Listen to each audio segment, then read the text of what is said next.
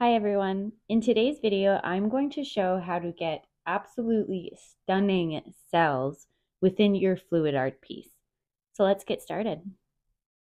I've already mixed my base layer here, the white, and then I have a nice taupe, a beautiful deep burgundy, a cream, and a light aqua blue. For our last color here, I'm going to show the whole process. I have this cup filled about halfway with US Floetrol, but I do find that Aussie Floetrol gives a lot better cells, but it's really expensive. So a cheap alternative is to add in some pre-stain wood conditioner. So that's trick number one to get more cells in your fluid art piece. To make all four of these colors here, I used these five acrylic paints. They are by Liquitex along with some white and black. If you take a look at our color palette here, so far we have three light colors and only one dark color with the burgundy in the back. I do find that having a good contrast of very light and dark colors will help all the cells pop on your canvas. So we need another darker shade. For that, we're going to go with this dark Prussian blue. So it's a blue with some more red undertones, almost making it a purple. That will balance out our light colors and also it goes great with that burgundy. I added in a splash of water and we will mix it up and see how the consistency is doing. And I really don't measure out the Floetrol or conditioner or water or paint. I go based off of consistency. I cannot stress enough how important the paint mixture consistency is to achieving perfect cells. So I roughly add about half Floetrol, half acrylic paint, and then I add small amounts of water at a time until I get that perfect consistency. I'm going to add in a little more of the conditioner as well. It's quite thin, so it'll work like the water to thin it out to what we need. So to do a consistency check, what you need to do is lift up your mixing stick and let the paint drip down onto the rest of the paint in the cup. You should see the pattern on top of the paint, but it should quickly disappear. That is your perfect consistency. Now I'm going to quickly show you why the consistency of these mixtures is so important. If you made these mixtures too thick, it's going to pour on and look great. But when it dries, it's going to crack. This piece looks amazing from far away, but if you look close up, especially at the top here, it was too thick and it cracked. Luckily, I'll still be able to save this piece. It is gorgeous. All I need to do is apply a resin top coat that will hide all the texture and cracks and it's going to look great. So at least that one's not completely ruined. This one, on the other hand, I was testing out a new pouring medium. It was much too thin, and you can see the results here. No defined cells, no defined lines. Clearly, the black was much too thin and it's overpowered the whole canvas. And unfortunately, there's no saving this one, so I'm going to have to just pour over it. You really want to make sure it's the perfect consistency. I'll show you with the lighter color here. You can see it a bit better. Lift it up, it drips down. We can see the pattern disappears quickly. That is what you're aiming for. These are good to go. So our next step is going to be to add in some cell activators. Starting off, I have this spray bottle filled with some 99% isopropyl alcohol.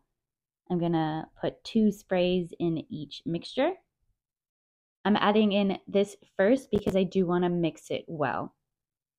I find that isopropyl alcohol not only helps create some cells, but it also gets rid of a lot of those tiny little air bubbles. So I'm going to mix all these up and we will get to our next step. Isopropyl alcohols all mixed in. Now we're going to add in some more cell activators. To start off, I have some Rain-X. So Rain-X is a water repellent, and since it's hydrophobic, it will help create some beautiful cells. I'm only going to add it to our light blue color. With the Rain-X, I find you get these very unique, very defined, tiny little cells. So I think that will look nice with our nice aqua blue here. We're only adding it to that and that will create some small cells. Now we want to get some bigger cells into the mix.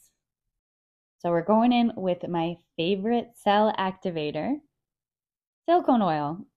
It is 100% silicone oil. It's by Mont Marte. But honestly, I find any brand, as long as it's 100% silicone oil, it's going to work great. So the difference here is I'm not mixing it in heavily.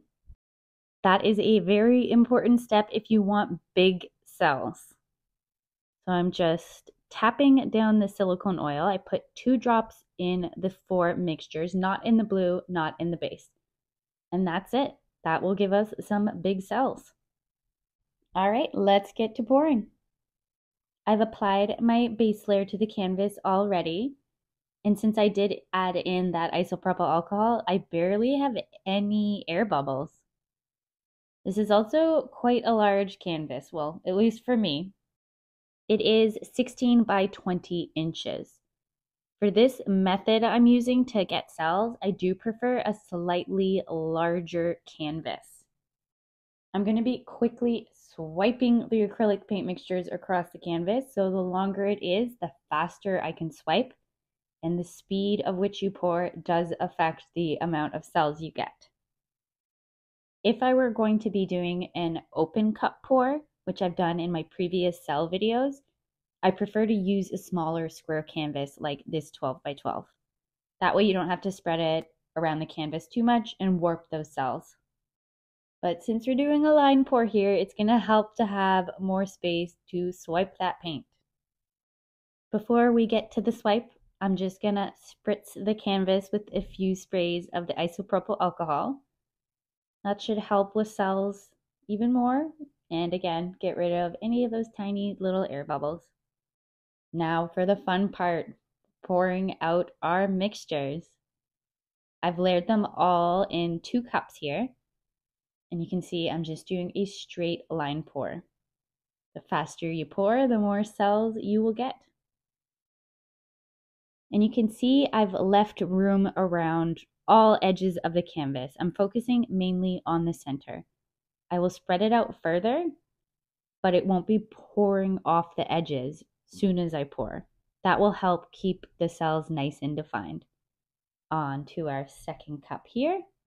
And you can see the faster I pour, the more cells appear. I do like to get a good mixture, some areas being heavily celled, some not so much and then throw in some nice little thin lines. We have both cups poured out. So the next step, I'm just taking my torch here and lightly torching the top. It will activate any little cells looking to come up. It will also get rid of those air bubbles. But please be cautious if you are using isopropyl alcohol. That is a torch, so alcohol is flammable. I still do it and I've yet to cause any fires.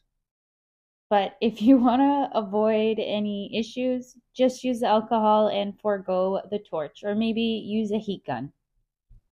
But I'm still going to use both, and I'm just very careful with it. Now we're going to spread it across the rest of the canvas, and this part usually gives me a lot of anxiety. The cells look so great and you start to see them warp as you pour over the edges. So just be mindful to go nice and slow. You have a bit more control as to the shape of the cells and how the canvas piece looks. And as the paint spreads, you do see more and more cells appear. So I'm just very carefully covering every edge while also being mindful not to pour off a lot of it or lose some of these gorgeous cells. After I have all four corners covered, I like to pull the paint back into the center. That will help any cells that were getting very stretched to reform their nice round shapes. So just a few adjustments, making sure it looks exactly as I want and I am happy with that. So I'm just going to do a little edge check. Often the paint doesn't pour over the edges. So just dabbing it with your gloved hand, blending in that paint so you don't have any of that white canvas peeking through. Unless, of course, you like having a little bit of exposed canvas. I recently found out that Van Gogh's Starry Night, the stars are actually blank canvas. So if you want to leave it, go for it. But it drives me nuts to see those little exposed canvas pieces. So blended it all in. And there we go. And lastly, some final touches that will really help just make these cells pop even more. Starting with my handy torch. And next I'm going to use the alcohol, not in that reverse order. Flame first, alcohol second. I find by spritzing the alcohol right on top of the canvas, especially in pieces like this blue corner here where there's not a lot of cells, it activates a lot of little tiny baby cells. And even better than isopropyl alcohol to get those little cells is Rain-X. I'm just spraying it on this corner here and this corner here where it's only beige. And it might take a couple minutes for some of the cells to appear. All right, so that is it. Here is the freshly poured piece. We have some big cells, some little cells, some cells within cells. Now we just have to see how it dries. And here we have it. I have yet to apply a top coat. I'm debating between a varnish or a resin top coat that will bring back some of the vibrancy. But I only poured this piece a couple days ago, so I'm going to give it two weeks to fully, fully cure so that I can wipe any silicone residue off with some isopropyl alcohol before applying that top coat. Waiting that couple of weeks will help ensure that the isopropyl alcohol wipe doesn't remove any of the paint. So uh, that's it, guys. The piece is complete minus the top coat. Let me know if you think it would look better with resin or varnish. That's all for today's video, and I will see you next time. Thanks for watching. Bye.